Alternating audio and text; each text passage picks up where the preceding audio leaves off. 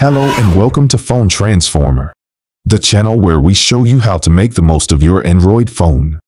In this video, we will teach you how to text to a number on Android. Just follow these easy steps. Let's get started. Step 1. Go to Messages app. The Messages app is the default app for texting on Android phones. You can find it on your home screen or in your app drawer. Step 2. Tap the Start Chat icon. Tap on it to start new text message. Step 3. Select the relevant contact. You can search or find a contact you want to text by typing their name or number in the search bar at the top of the screen. You can also scroll through your contacts list and tap on the one you want. Step 4. Write your message.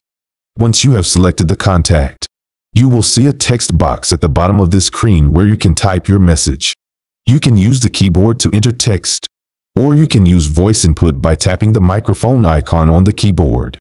You can also add emojis, stickers, photos, videos, and more by tapping the icons next to the text box. Step 5. Tap the send button.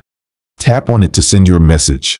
You will see a blue check mark next to your message when it is delivered, and a blue double check mark when it is read by the recipient. You can now see your message in the conversation thread with the contact. You can also see their reply when they text you back. And that's how you text to a number on Android. We hope you found this video helpful and informative. Thank you for watching and see you in the next video.